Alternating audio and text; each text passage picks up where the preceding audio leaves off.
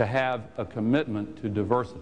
I am part of an administration that has the finest record on diversity and, and incidentally, an excellent, uh, I mean, I think our success over the last eight years has not been in spite of diversity, but because of it, because we're able to draw on the wisdom and experience from, from different parts of the society that hadn't been tapped in the same way before. And incidentally, Mel Carnahan in Missouri had the finest record on diversity of any governor in the entire history of the state of Missouri. And I want to honor that among his other achievements here. Now, I, I, just believe that what we have to do is enforce the civil rights laws. I'm against quotas. This is, uh, with all due respect to Governor, that's a red herring. Affirmative action isn't quotas. I'm against quotas. They're illegal. They're against the American way. Affirmative action means that you take extra steps to acknowledge the history of discrimination and injustice and prejudice and bring all people into the American dream because it helps everybody, not just those who are directly benefited. Governor, what is your, are you opposed to affirmative action? No, if affirmative action means quotas, I'm against it. If affirmative action means what I just described, what I'm for, then I'm for it. You heard what I was for. Vice President keeps saying I'm against things. You heard what I was for. And that's what I support. What about, Mr. Vice President, you heard what he said. He said if affirmative action means quotas, he's against it. Affirmative action doesn't mean Good. quotas. Are you for it without quotas? Well, I may not be for your version, Mr. Vice President, but I'm for what I just described to the lady. She Are you for answer. what the Supreme Court says is a, a, constitutional way of having affirmative action? Jim, just... Let's go on to another, another uh... and it's, it's, a question. No. It doesn't speak for itself, Mr. Vice President. It speaks for the fact that there are certain rules in this that we all agree to, but evidently rules don't mean anything. the question is for you, uh, Vice President Gore, and Lisa Key will ask it. Lisa Key, where are you? There we go, sorry. How will your tax proposals affect me as a middle class, 34 year old single person with no dependents? If you make less than $60,000 a year and you decide to invest $1,000 in a savings account, you'll get a tax credit, which means in essence that the federal government will match your $1,000 with another $1,000. If you make less than $30,000 a year and you put $500 in a savings account, the federal government will match it with $1,500. If you make more than 60,000 up to 100, you'll still get a match, but not as generous. You will get a, uh, access to lifelong learning and education, help with uh, tuition if you want to get a new skill uh, or, or training. If you, if you want to purchase health insurance, you will get help with that.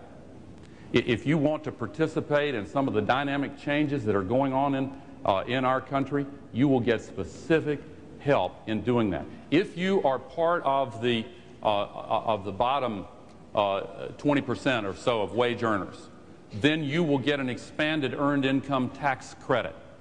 Now, the tax relief that I propose is directed specifically at middle income individuals and families. Uh, and if you have a uh, if you have an elderly uh, parent or grandparent who needs long-term care, then you will get help with that. Three thousand tax credit to help your expenses in taking care of a loved one who needs long-term care. Governor Bush? Right. Let me just say the first, the, this, this business about the, kind of the entitlement he tried to describe about savings, you know, matching savings here and matching savings there, if fully funded, is going to cost a whole lot of money, a lot more than we have. Um, you're going to get tax relief under my plan. You're not going to be targeted in or targeted out. Everybody who pays taxes is going to get tax relief. If you take care of an elderly in your home, you're going to get the personal exemption increased. I think also what you need to think about is not the immediate, but what about Medicare? You get a plan that will include prescription drugs, a plan that will give you options. Now, I, hope people understand that Medicare today is, is, is, is important, but it doesn't keep up with the new medicines. If you're a Medicare person, on, on Medicare, you don't get the new, new procedures. You're stuck in a time warp in many ways. So it'll be a modern Medicare system that'll trust you to make a variety of options for you. You're going to live in a peaceful world. It'll be a world uh, of peace because we're going to have a clear, clear-sighted foreign policy based upon a strong military and a mission that stands by our friends, a mission that doesn't try to be all things to all people, a judicious use of the military which will help keep the peace.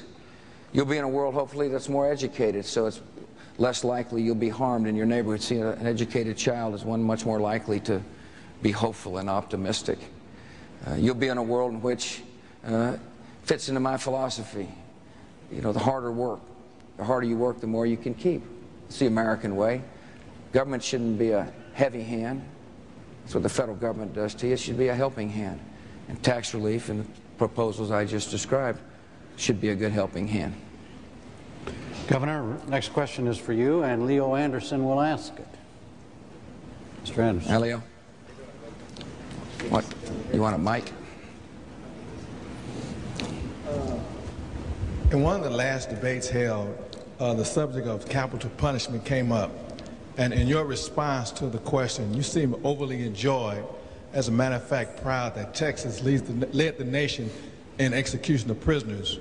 Uh, sir, did I misread your response? And are you really, really proud of the fact that Texas is number one in executions? No, I'm not proud of that. Death penalty is very serious business, Leo. Uh, it's, uh, it's an issue that good people obviously disagree on. I take my job seriously. And I, if, if, you think I was proud of it, I, I think you misread me. I do. I, uh, I was sworn to uphold the laws of my state. During the course of the campaign in 1994, I was asked, do you support the death penalty? I said I did, if, I, if administered fairly and justly, because I believe it saves lives. You know, I do. I think if it's administered swiftly, justly, and fairly, it saves lives. One of the things that happens when you're a governor, at least oftentimes you have to make tough decisions. And you can't let public persuasion sway you because the job is to enforce the law. And that's what I did, sir. There have been some tough cases come across my desk. Some of the hardest moments since I've been the governor of the state of Texas is to deal with those cases. But my job is to ask two questions, sir. Is the person guilty of the crime? And did the person have full access to the courts of law? And I can tell you, looking at you right now, in all cases, those answers were affirmative. Now, I'm not proud of any record. I'm proud of the fact that violent crime is down in the state of Texas. I'm proud of the fact that uh, that uh, uh, that we hold people accountable. But I'm not proud of any record, sir. I'm not. Vice President Gore? I support the death penalty. I think that it has to be administered not only fairly with uh, attention to things like DNA evidence, which I think uh, should be used in all capital cases, uh, but also with uh, very careful attention. If, uh, if for example, somebody uh, confesses to the crime and somebody's waiting on death row, there has to be alertness to, to say, wait a minute, have we got the wrong guy? If the wrong guy is put to death, then that's a double tragedy, not only as an innocent person been executed, but the real perpetrator of the crime uh, has not been held accountable for it, and in some cases may uh, be still at large. Uh, but I support the death penalty in the most heinous cases. Do both of you believe that the death penalty actually deters crime, Governor? I do. That's the only reason to be for it. I don't. Let, me finish. Sure. I, I, I don't think you should support the death penalty to seek revenge. I don't think that's right. I think the reason to support the death penalty is because it saves other people's lives. Vice President Gore? I think it is a deterrence. I know that's a controversial view, but I do believe it's a deterrence. All right. Next question is for you, uh, Vice President Gore, and Thomas Fisher will ask it. Mr. Fisher? Uh, yes. My uh, sixth grade class at St. Clair School wanted to ask of all these promises you guys are making and all the pledges, will you keep them when you're in office? Yes.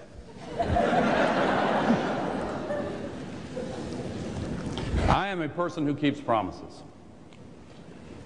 And you know, we've heard a lot uh, about, from the governor, about not much being done in the last eight years, as if uh, Uh, the